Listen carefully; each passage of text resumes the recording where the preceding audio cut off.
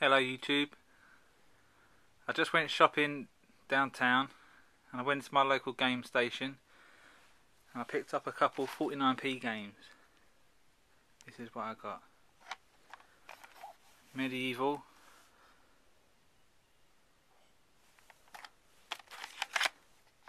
Tomb Raider Last Revelation.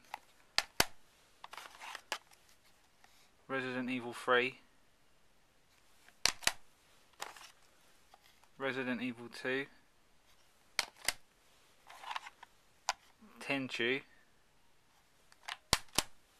and Alone in the Dark,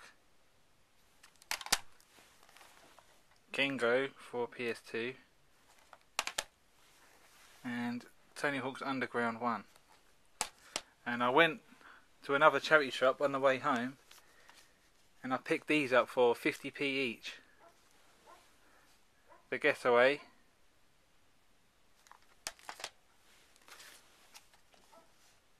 SOCOM, US Navy SEAL. Juiced 2. Lord of the Rings. The Great Escape. Unreal Tournament and Primal.